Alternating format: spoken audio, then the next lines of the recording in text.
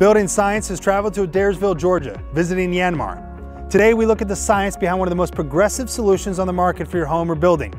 This is Building Science.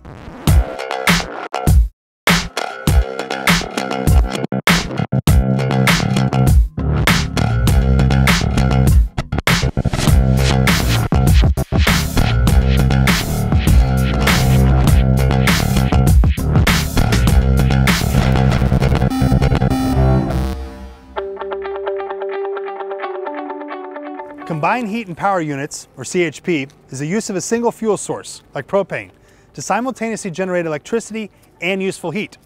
CHPs are used to power such applications as light commercial, multifamily, and residential. Economic savings, environmental impacts, and energy independence are just a few of the advantages. But how does this compact and seemingly quiet unit power and heat an entire facility?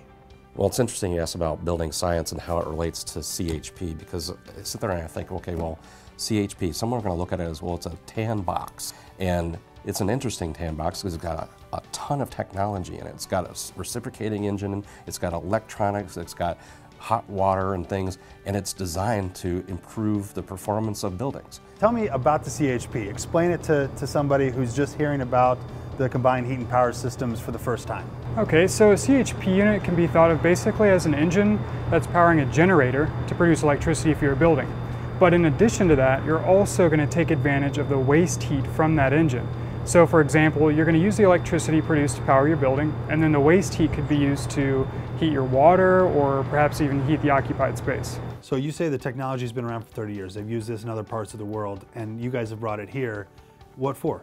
CHP is, is a very old technology, but Yanmar scaled it down to a size where it can be easily integrated into smaller buildings, homes, like commercial buildings. Well, it's very cutting edge because typically when people think of going off the grid, they look at photovoltaics, they look at generation systems, traditional generators. And what makes this very different is that you're able to capture the waste heat from the engine, which is what makes much higher efficiency than using PV or using a traditional generator. So one of the modifications or changes that you guys made in this engine is this unit, this unit right here. Yes. So this is not on a normal diesel engine. Yes, that's right. And what does this do? Uh, this is a heat exhaust gas heat exchanger. Uh, cooling water captures the heat from exhaust gas, then supply to facility. So this this little unit right here yes. can supply hot water yes. to a home, to a business. That's that's incredible. Yeah. Even as an engineer, even with the with, with your mind and your understanding of this of the science behind it, what was surprising to you? Uh, the first thing was pretty basic, and that was the size of the unit.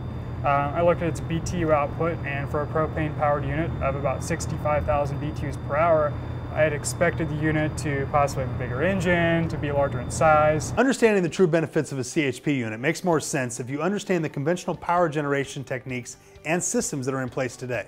It's very easy to understand how taking fuel like propane and converting it into heat energy and electricity for the benefit of a, of a homeowner or for a business to help them save money and to help uh, lower their operating costs or their home costs, that's exciting. Well, what makes it so easy for anyone to understand is that it's an all-in-one unit.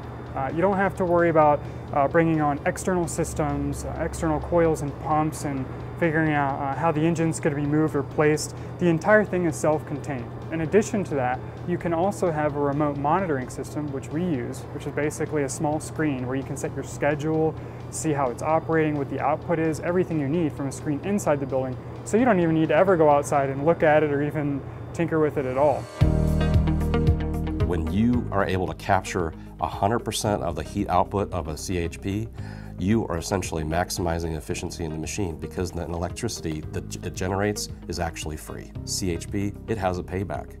It's actually an investment because it has a payback and unlike a, a standby generator set, which is a sunk cost, CHP produces revenue after your payback period.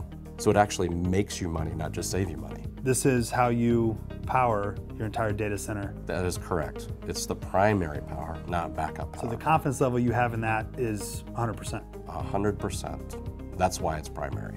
The technology and forward thinking of turning propane into on-site power and heat generation has given homeowners, builders, and facility managers confidence in continuous power, lowered energy consumption, and most importantly, cost savings. Now that you know how a CHP works and the uniqueness of this technology, we look at how this system is integrated into homes and businesses across the globe.